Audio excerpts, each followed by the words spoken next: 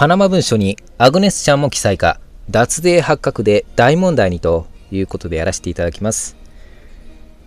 現在ですね、パナマの法律事務所の内部文書が流出をし、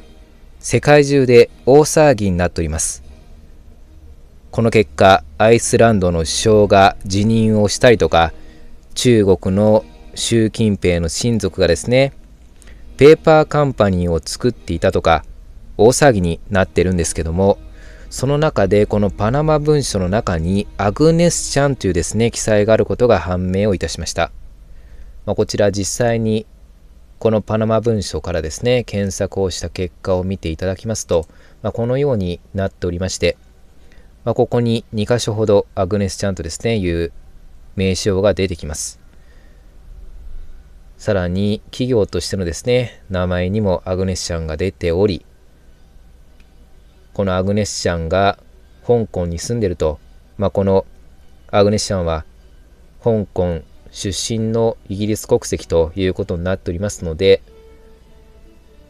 香港にですね、何か建物を持っていても不思議はないんですけども、まあ、こちらただこのアグネスチャンという記載実際に日本国内で日本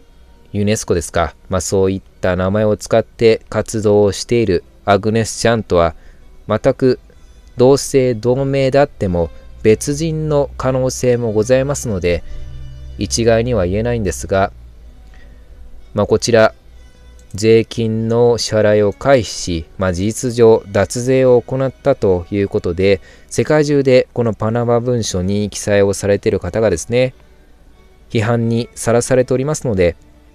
日本としてもこのまずはパナマ文書の真偽、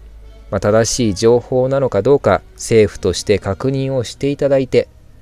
正しい情報であれば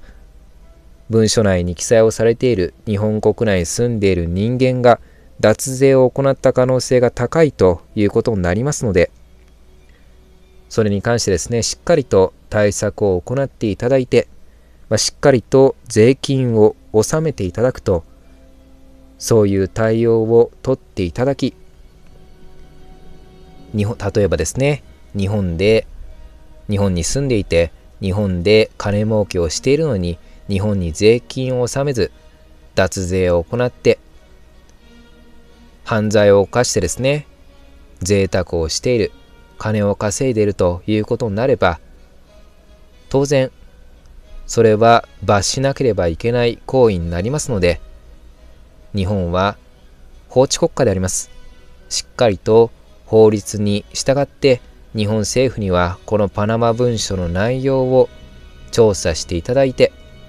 必要があれば脱税などの容疑で捜査をし、罰していただいて、こういった脱税がまかり通らないように放置されないように日本政府としてしっかりと対応をとっていただきたいなと思います。